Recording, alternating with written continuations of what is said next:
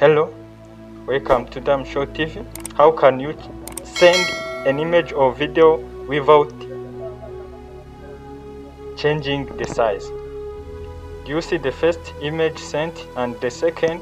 They are sent in different option, but their size they changed because this option sent. First option,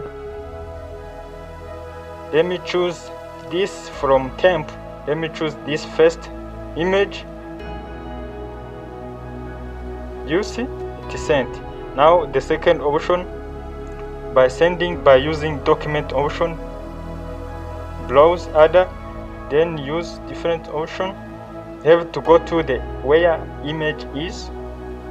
I go where in temp the first image. Send this image have one megabyte. You see is the, this also I sent it as one megabyte. First of all let me see the receiver of the message.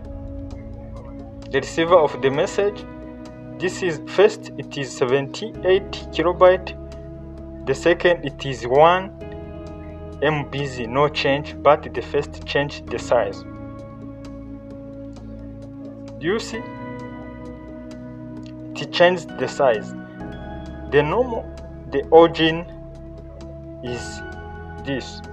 Size remained the same but the first size changed to too low. Let me see where it came from and where it stored the size and I compare.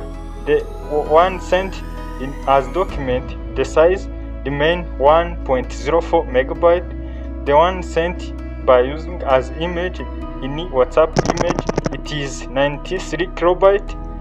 It reduced from 1 megabyte to kilobyte. See the origin it is also 1 megabyte. Thank you.